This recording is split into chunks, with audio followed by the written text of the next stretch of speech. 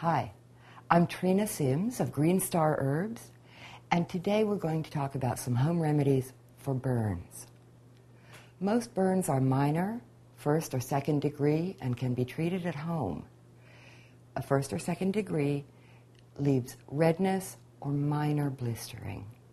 We get most of these from cooking, household maintenance activities, and recreational activities. Any third degree burn in which the skin is charred, chemical burns, burns larger than the size of the palm of the person who's burnt, so on a child that's going to be much smaller, burns with deep, bubbling blistering, and any burn where material is melted to or somehow stuck to the skin requires the attention of a doctor.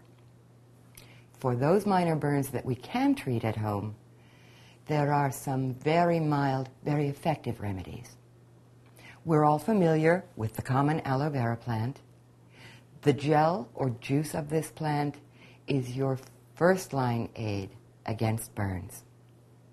Rinse the burn first in cool water before you use any of these home remedies. If you're going to use aloe, simply break off a leaf, split it, and apply the interior gel directly to the burn, or use one of the commercial preparations of aloe vera juice. Another safe, very efficacious, and very pleasant remedy is to make a poultice of honey. Your local raw honey is going to be the best, but any honey will be useful. You can use it full strength or mix it up to half and half with water rinse that off several times a day, and reapply. It's antibacterial, and it'll help speed the healing process, just like aloe vera. For adults, another good option is a liquid extract of arnica. Arnica is never, ever, ever to be used over a large surface,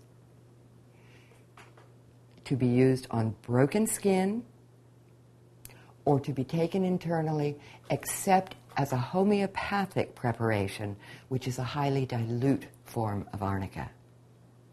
In general, we don't use arnica for children. I hope this has given you some ideas of safe and effective home remedies for minor burns. Thank you.